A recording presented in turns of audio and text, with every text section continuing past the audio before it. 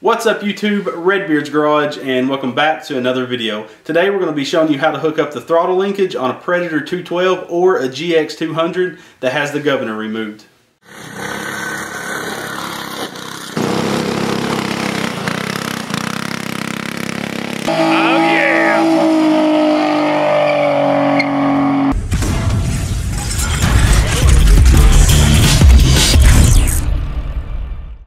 Now I got a Honda GX200 up on the workbench. This is a blown up engine that I had just laying around. All of my Predators have already had this um, throttle linkage done to them, so I couldn't show you on none of them. So this will work perfect. The GX200s are exactly the same as the Predator 212. This is going to be the same process no matter if you have a GX160, a GX200. This is going to be all the same with the Predators as well. So guys, let's not waste any time. Let's jump right on the workbench on that Honda engine and uh, get this throttle linkage made. Okay, so we have this GX200 up on the workbench. This is a blown up engine, but I'm going to be rebuilding it soon, so we're going to go ahead and show you how to do that throttle linkage.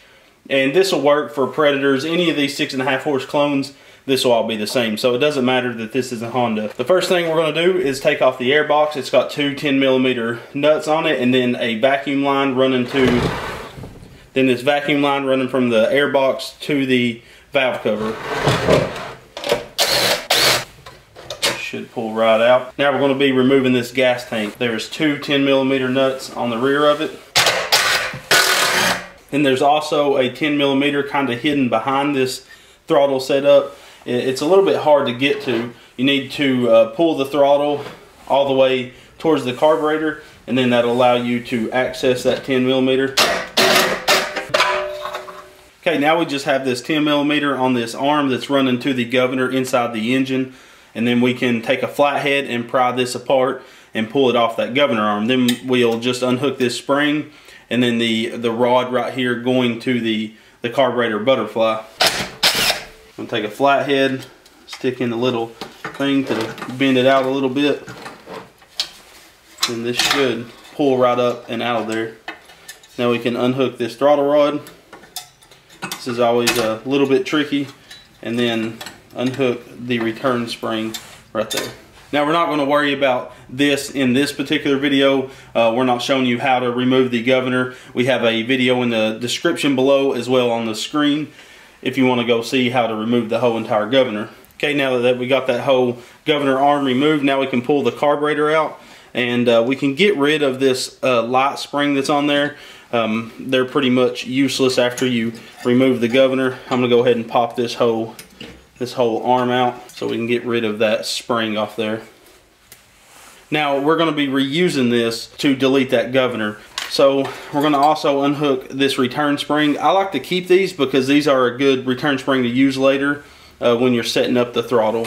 So basically what we have to do is somehow adapt this butterfly sitting down here on the carburetor. It's kind of hard to see. I'm going to remove this uh, choke arm and maybe you can get a better view. So there's the butterfly for the throttle.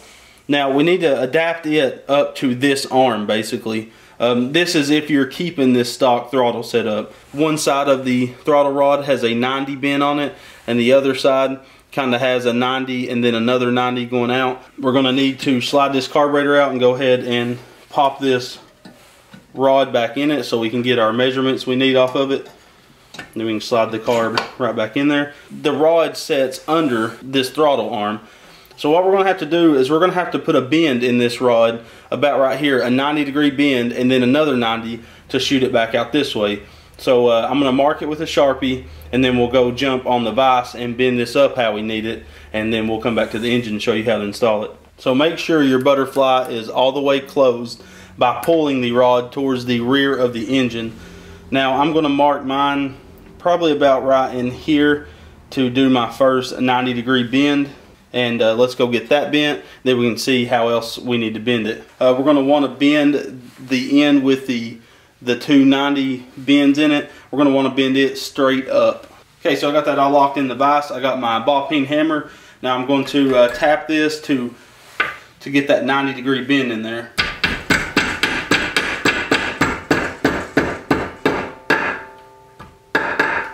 Now you can see I got that 90.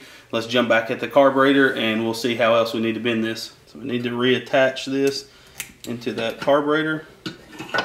You can see that 90 we been in it sets right before this arm. Now we just need to mark this to bend it at another 90 so it kind of arches up and then arches over top of this little throttle handle.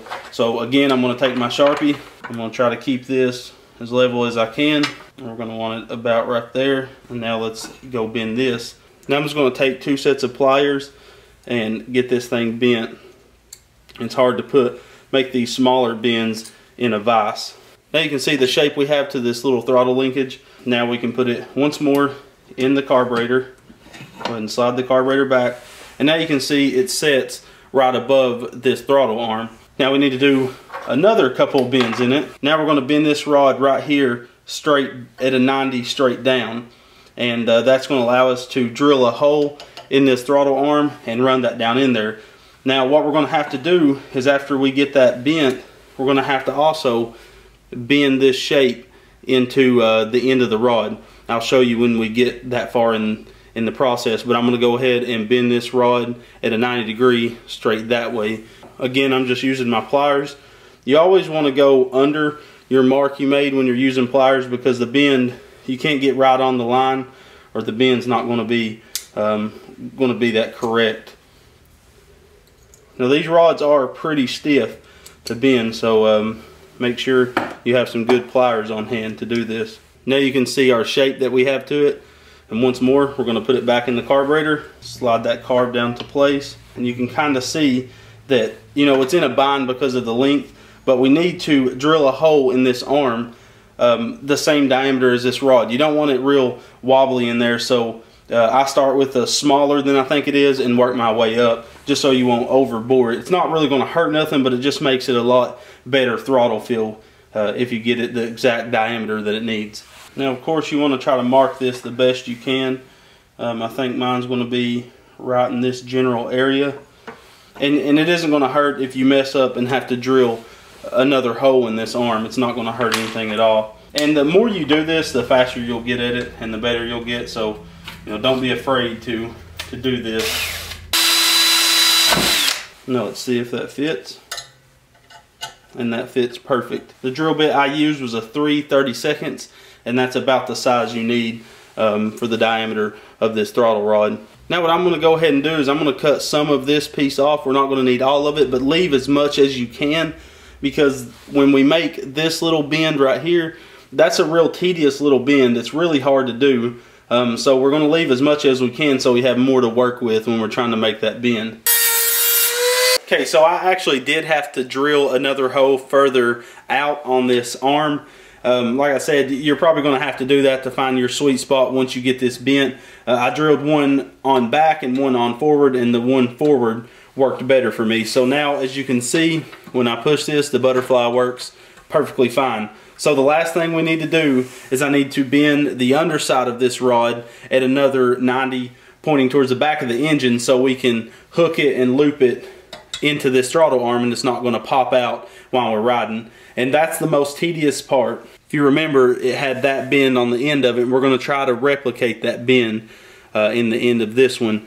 And that's, like I said, that's the most tedious part of this whole thing. So what we're going to do is kind of mark this underneath so we can see where we need that to, uh, to be at. Now the easiest way to get this throttle rod out is to pull your carb out some and, uh, and then move the, the throttle arm with it and then it'll all slide up out of place. Okay, so I have that bent. It doesn't matter that this is kind of pointing up a little bit because we are going to be trimming quite a bit of this off. So uh, we'll go ahead and test fit this. First sliding it down through this hole and then latching it into the, the carburetor. Now you can see that's fully closed and that's open. So that's working just as we wanted it to. And now we can just trim some of this ear that we just bent off of that rod and we should be good to go. Now, when we hook up our throttle cable to this, we can either use this throttle hold down here, we can run the throttle cable around the back of the engine, put the, the housing of the throttle cable under this hold down, and then you have some eyelets that's normally up here. This engine's actually missing them, and I don't have a stock um, throttle linkage for, for one of these Predators. I've pretty much gotten rid of all mine. But you're normally going to have some throttle eyes sitting right here, some throttle cable eyes and you're going to basically put the housing of the throttle cable under this hold down, run the bare cable up under the throttle eye, and basically when you pull back, it's going to open up the carburetor. When you let off, it's going to pull back. So now what we need to do is hook up some way to return this back to home when you let off the gas. So that's where this spring is going to come in handy. This has got a pretty good amount of, uh, of pull to it. And those extra holes that we actually popped in there will work perfect to uh, to use this spring for. That's why I always say you can do a general three of them and then you'll be pretty much set. Now what I normally do with this spring is on Predators, they're a lot easier than these Hondas because these Hondas have this little plastic trim ring under the pull start. Now, normally you have that open bolt hole up here. I just find a bolt that'll thread into it and make a little 90 that this spring will hook into and uh, basically hold tension so when you let off, you know, it'll pull back. And you can loosen this 10 millimeter nut up here on this throttle linkage setup to make this easier. This is kind of stiff because it wasn't meant to be used like that. I'm going to take a 10 and see how much easier that is. Now, when we hook this spring up, it's going to do a lot easier of a job of returning it back to home. So now what I did was I just hooked this return spring on this plastic ring and you can see when we let off it goes right back to home. So we're pretty much done. We can throw the gas tank back on this engine and uh, and if this was on a go-kart we'd be ready to ride. Give you a more up close look at this. Uh, you can see that's where I drilled those three holes and the hole I end up using was the one closest to the end. Now you really need to play with this. There's no real uh, written in stone way to bend these. I can measure mine out and put it in the description below so you can bend yours exactly like I did and then I can measure from this end to where I drilled that hole and you know put all that in the description below. As I was saying, if this is too too tight to return, all you have to do is loosen up this 10 millimeter and that'll um, you know get make it freely move a lot easier. This is tight from the factory because it's meant to just set it at a certain RPM and leave it for pressure washers and generators. Now there's that throttle hold down right here.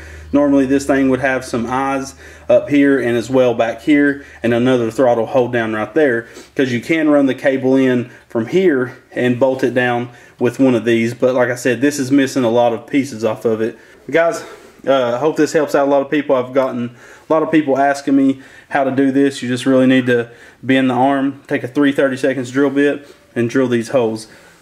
So guys, I hope you liked the video. I had a lot of people asking me about this throttle linkage setup. It's really easy. Once you do one or two, it'll come natural to you. And I will be putting in the description below those measurements, how you can go ahead and pre-measure out your rod and mark it and do those bends. But I do highly recommend you try before and after, you know, make sure everything's going to work out on your particular application, uh, you know, so you don't waste that throttle rod. This is going to work for Predator 212s, GX 160s, or 200s. And the only thing it's going to differ on is when you go up to the big block engines. That would be a 301cc or a 420cc or the GX 270, 340, and 390 engines, which I'll have a video in the next couple weeks coming out on how to do this same process on those engines. Guys, don't forget to go to Go Power Sports and check out all their awesome go-kart goodness and use that Redbeard code to save 10% on your purchase. Check us out on Facebook and Instagram where we're putting up-to-date pictures up. You'll get you'll kind of know what videos are coming out before they ever come out and uh, get the inside scoop on all that's going on at Redbeard's Garage. Don't forget to like, comment, and subscribe, guys. Share these videos to help us grow even bigger so we can bring more giveaways and more content to you guys. And uh, always come back to Redbeard's Garage. I'm out.